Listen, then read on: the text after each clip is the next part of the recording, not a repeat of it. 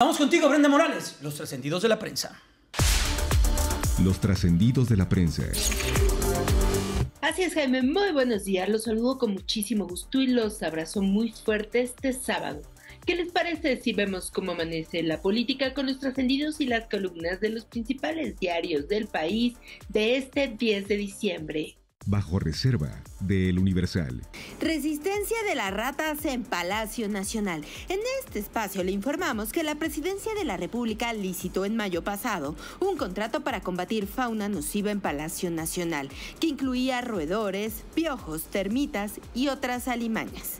Nos comentan que ahora fue la Secretaría de Hacienda y Crédito Público que encabeza Rogelio Ramírez de la O la que lanzó una nueva licitación con el registro ITN diagonal 2022-50 para contratar un servicio de fumigación de los diversos inmuebles que ocupa la dependencia federal, entre ellos Palacio Nacional, recinto donde vive el presidente Andrés Manuel López Obrador. Nos indican que el contrato será anual y ya se han anotado tres empresas para cumplir con la tarea específica de acabar con las dañinas ratas. A ver si esta vez sí lo logran. Queda la duda, ¿las de dos patas las consideran ya erradicadas?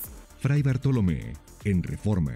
Si el diputado Ignacio Mier ya había tenido un jueves tormentoso tras la aprobación en Fast Track del Plan B para la reforma electoral y la vergüenza de haber querido comprar el favor de periodistas con unas tortas, el viernes fue un día negro para el coordinador de Morena.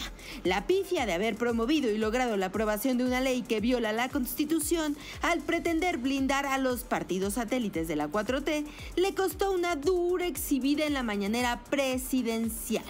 Muy mal que los dipuborregos, morenistas, petistas y pebemistas votaran en favor de una iniciativa que ni siquiera habían leído. Pero es peor aún que el supuesto pastor de la Grey 4Tista los condujera al precipicio de la inconstitucionalidad.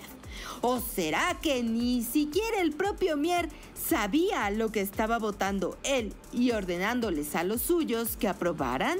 Es el colmo que un rey mago no sepa en dónde está el pesebre. Trascendió en Milenio Diario. Trascendió que el presidente capitalino de Morena, Sebastián Ramírez, retó al alcalde de Benito Juárez, Santiago Taboada, a presentar la documentación para probar la inocencia del diputado panista Christian von Rodich, contra quien hay una orden de aprehensión por su presunta relación con la corrupción inmobiliaria, olvidando que son los acusadores los que deben demostrar la culpabilidad. En tanto, la Fiscalía de Ciudad de México solicitó al Interpol emitir una ficha roja contra el líder del PAN en el Congreso Capitalino y al Instituto Nacional de Migración una alerta.